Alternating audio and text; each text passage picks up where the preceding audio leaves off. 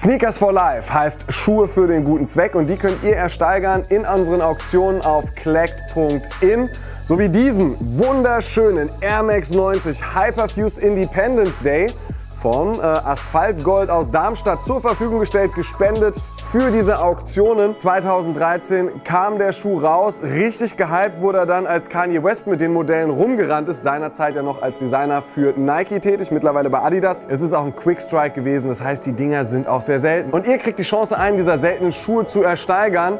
Hier bei unserer Auktion Sneakers for Life. Wir haben einen weißen in Größe 40, also US 7 für euch. Viel Spaß beim Bieten und denkt dran, es ist für die Krebshilfe, ihr rettet ein Leben.